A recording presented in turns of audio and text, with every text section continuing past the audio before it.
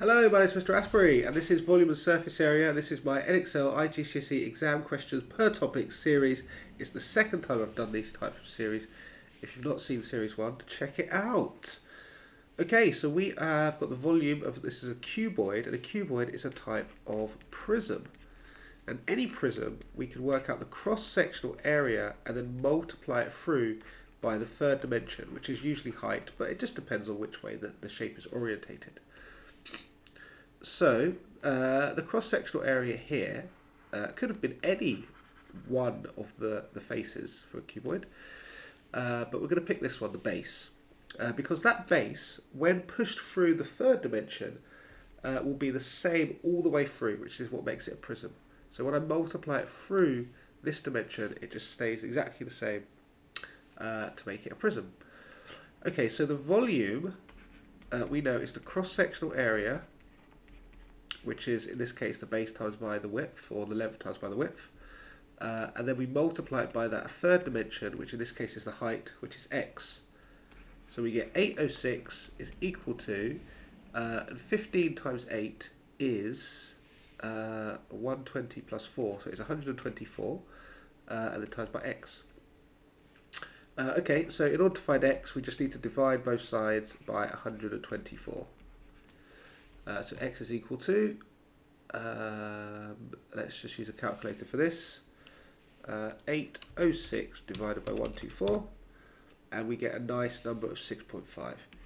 So we know again, another little tip is that they don't ask us to round it to a particular value. It just says work out x. So if you get an answer like 18.13678544321, then you know you've probably made a mistake. But 6.5 is a lovely number, uh, nice and round, so we're good. Okay, next question, and we have a cylinder, which is also a type of prism, um, and uh, it has a radius and it has a height.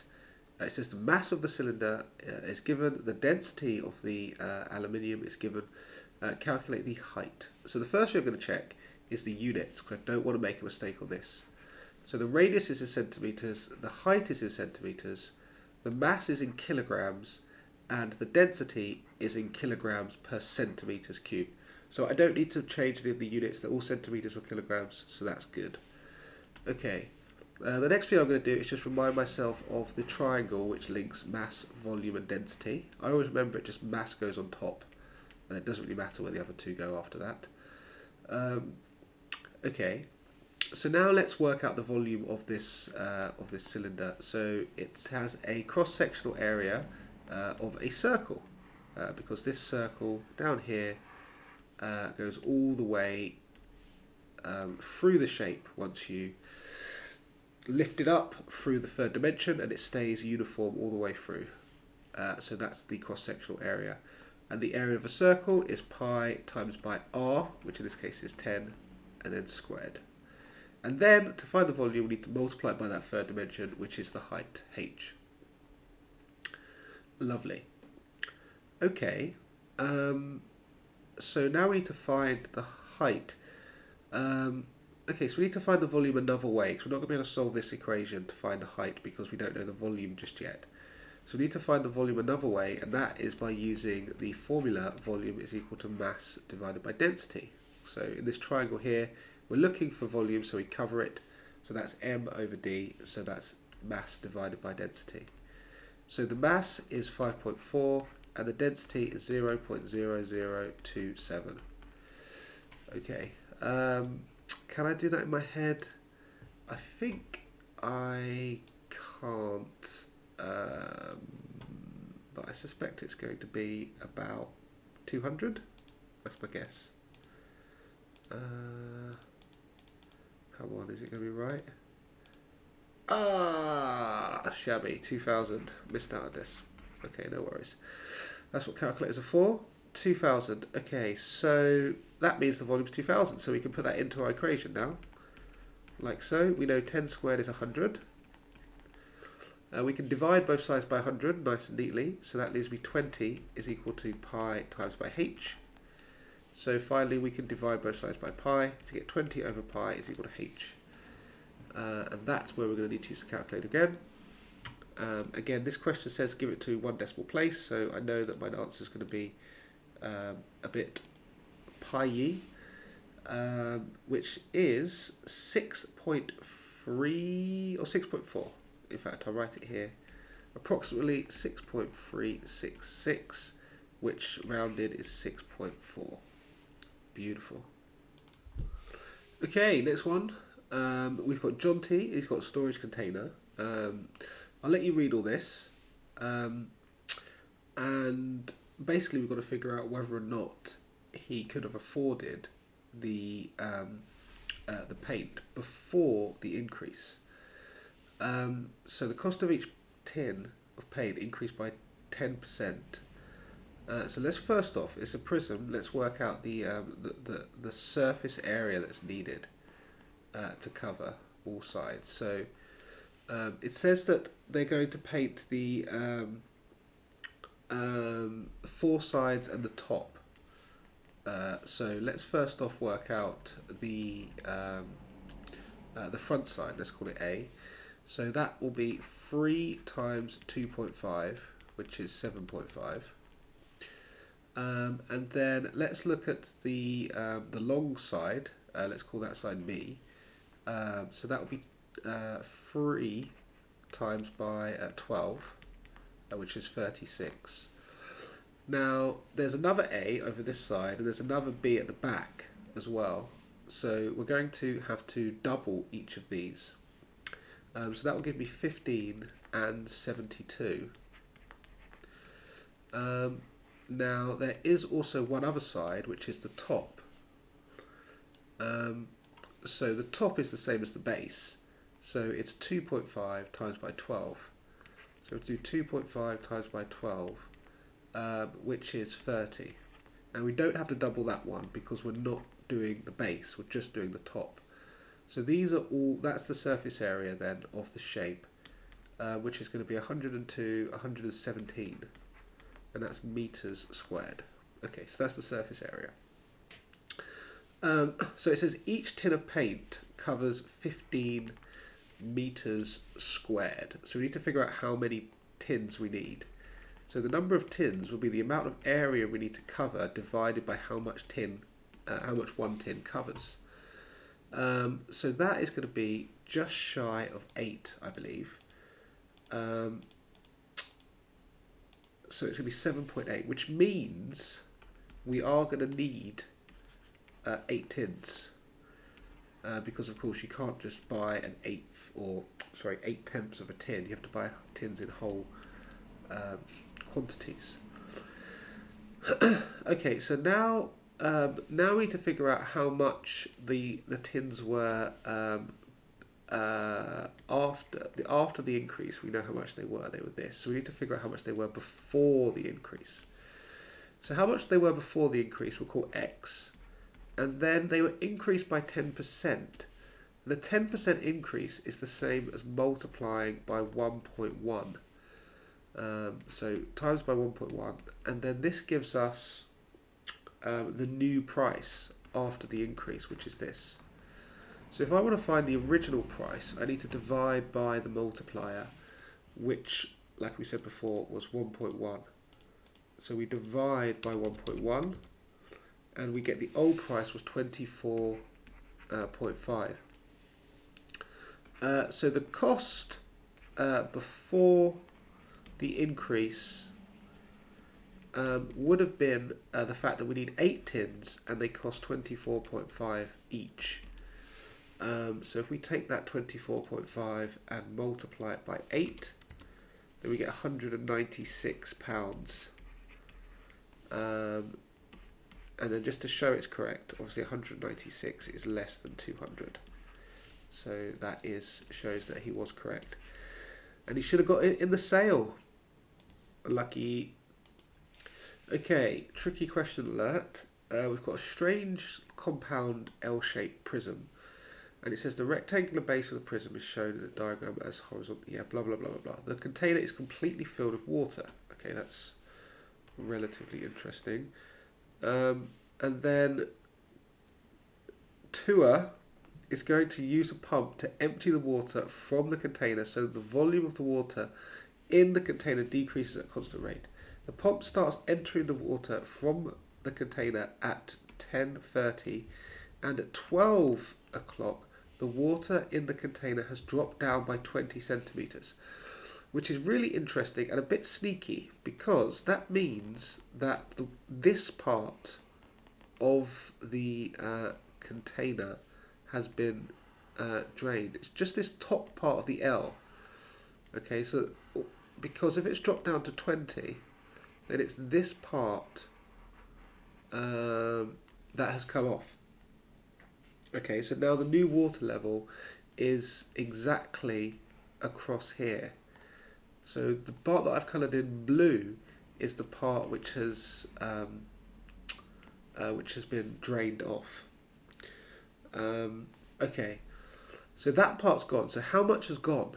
Well, we can work that out because we can work out this blue bit uh, by using uh, the volume of that blue bit is the um, is the base, which is 125 multiplied by 30 multiplied by the height, which is 20. Um, perfect. Okay, so that's going to give us the volume of the bit which has already been drained away, because like it says in the question, it says that it's dropped by 20 centimetres. So that's the part, that's all the water that's gone. Um, which is this, so that's how much has gone. Okay, um, so now we need to work out the time in which the water has been completely uh, drained. Okay, so let's shade in um, how much water is left. So how much water is left, I'll shade in green, uh, which is going to be all of this stuff in this cuboid below. Okay, uh, yeah, okay, so all that stuff is left to be uh, drained. So let's work out how much is left is needed to be drained.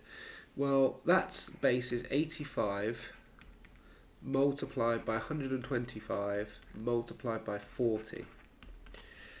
Okay, so um, we can do uh, 85 uh, multiplied by 125 multiplied by 40 and this is how much which is left to go. Okay, um, so we said before that we've used this amount in, and how long has it taken for that? That's a, an hour and a half. Um, so if I divide that by 1.5, then that tells me how much it will do in an hour. Um, so that will be uh, 50,000. So it does 50,000 every hour. Okay, perfect. So that's how quickly it drains. 50,000 per hour. So if we want to work out how many hours are left to drain the rest of this, then we need to divide this by 50,000. And that will tell me how many hours it will take to drain what's left over. So if I do this here, uh, and I divide this by 50,000, um, I get 8.5 hours. Okay, so at the moment we are at 12 o'clock uh, midday and we need another 8.5 hours.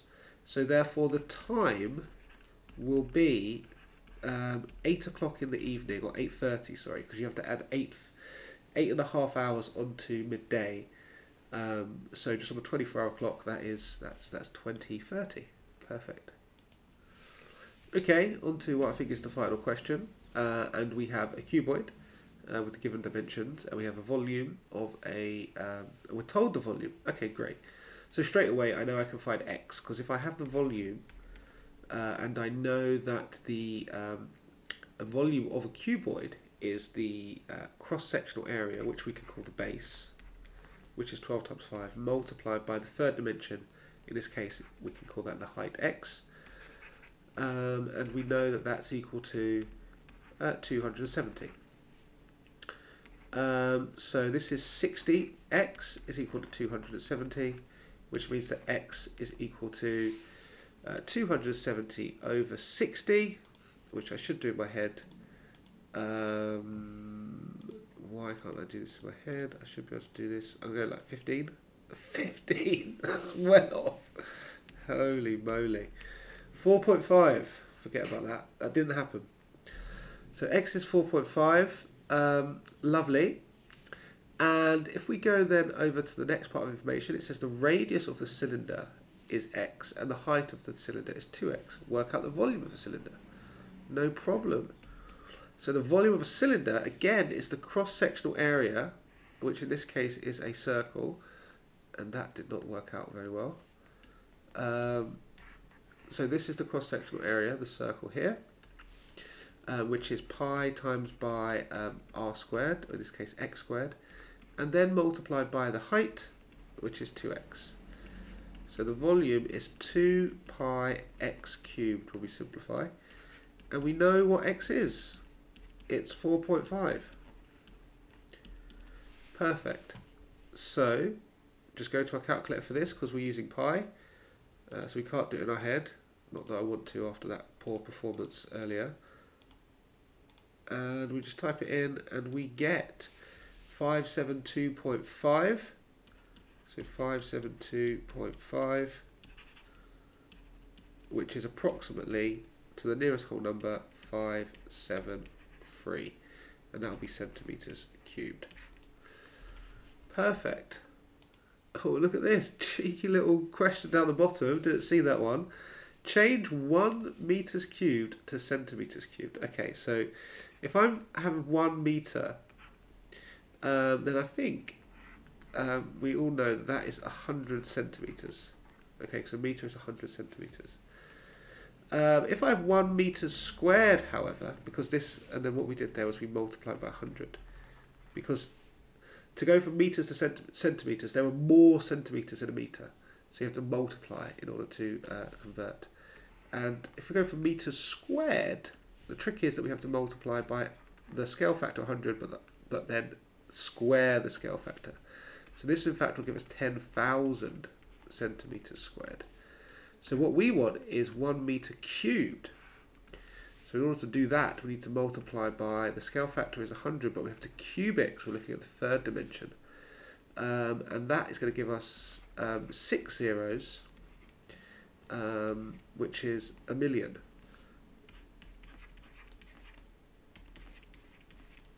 Perfect. Right, I hope you enjoyed that. I'll see you in the next one. Bye for now.